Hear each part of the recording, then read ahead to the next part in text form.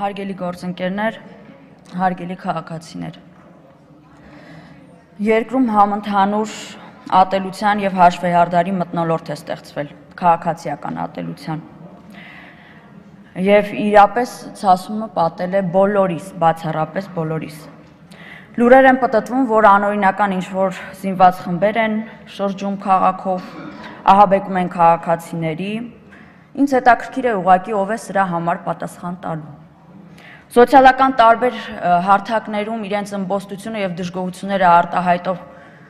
սովորական շարքային քաղաքացիներին, ինչպես նաև քաղաքական հայացքներ ունեցող տարբեր անձանց անհատական նամակագրության միջոցով սպառնալիքներ են հնչեցնում Սրանց համար ով է պատասխան տալու։ Մարդկանց քիթումռու ջարդելու սպառնալիքներ, ընտանիքի անդամներին հետապնդելու սպառնալիքներ։ Այս պահին երկիրը ծայրահեղ պարակտվածության մեջ է։ Տևական ժամանակ էր փաստորեն ազգային գաղափարախոսությունների եւ արժեքների չեն վախենա ասել խեղաթյուրում, տապալում եւ պատմական իրողությունների խմբագրման փորձեր են արվել ինչու ոչ նաև կրթական համակարգում։ Իսկ սրա պատասխանատվությունը ով է կրելու։ Այսօր կրթական համակարգը, ինչպես արշապահական համակարգը, գրեթե կատվածահար վիճակում են ով է վերջապես հանդարտեցնելու պաշտպանական գերատեսչության արչև առավոտ եւ երեկո հավաքվող ծնողներին, ворթեկորիս մայրերին, հայրերին, եղբայրներին, քույրերին, ովքեր 20 օրից ավելի առավոտից երեկո շրջում են ամբողջ հանրապետության դիահերձարաններում, հիվանդանոցներում, ել չգիտեմ որ պատկան մարմիներում եւ փնտրում են իրենց ворթիներին խնդրելով եւ աղերսելով գոնե դիակները գտնեն, որpիսի իրենց հարազատներին կարողանան պատվով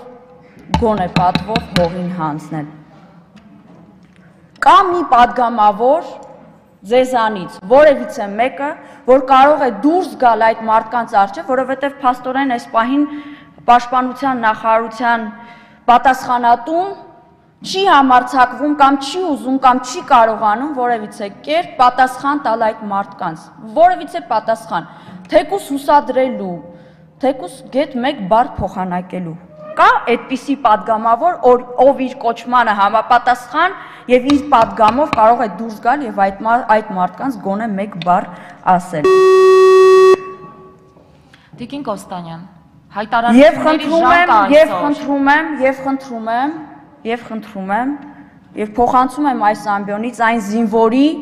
եւ այդ զինվո այն զինվորի կնոջ խնդրանքը, աղերսանքը, որ ամբիոնից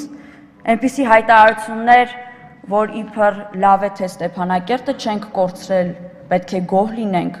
Խնդրում եմ ուղակի նման հայտարարություններ չանել։ Հայտարարությունների ժամ Եվ խնդրում եմ նաև հիշել բումերանգի էֆեկտի մասին։ Բումերանգը միշտ վերադառնալու սովորություն եւ հակում ունի։ Իսկ ազգային ժողովի ընդդիմադիր թևի падգամավորներին ամոթանք տալու փոխարեն Տիկին Դավոյան կխնդրեի, որ այդ գիշերը, այդ սարսափելի եւ զզվելի գիշերը, որ տեղի ունեցավ, մեզ հետ միասին այստեղ փորձեիք նույն այդ դռների բռնակները պահպանեիք կամ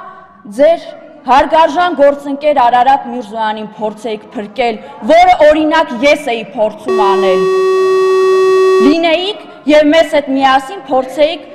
սենյակները չթողնել ապականել։ Ումից եք վախենում այն ժողովրդից, որը ձեզ է ընտրել։ Կյանքի վտանգի, կյանքի սպառնալիքի տակ ներողություն, կարծում եմ падգամավորի կոչումը նաև այդտեղ է հանդարտացնել ցասուն Կոստանյան, ես արդեն ստիպված եմ խոսապատել։ Շնորհակալություն։